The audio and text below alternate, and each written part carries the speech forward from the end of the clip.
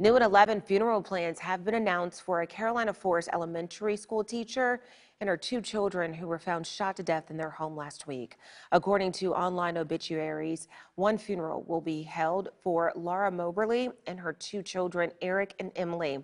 Friends will be received this Thursday afternoon from 2 until 3.30 at Carolina Forest Community Church. The funeral will be held at 4 o'clock at Centenary United Methodist Church Cemetery in Conway. The three were found dead last Wednesday after police did a welfare check at a home on Centennial Circle.